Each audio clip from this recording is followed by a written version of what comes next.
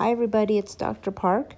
In this video, you will see me perform sclerotherapy of a periocular telangiectatic vein. This patient has a prominent uh, periocular vein that she dislikes. Here you can see once I have entered the vein with a 30 gauge needle and get blood return confirming intravascular placement, I slowly inject the polidocanol sclerosing agent. If you look closely, the bluish discoloration of the vein disappears.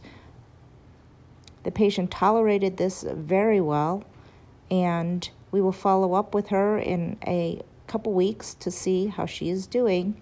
Interesting. You okay? Mm -hmm. So stay tuned for before and after Let's photos.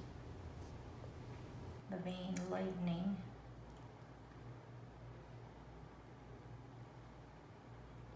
going in beautifully. We're not infiltrating.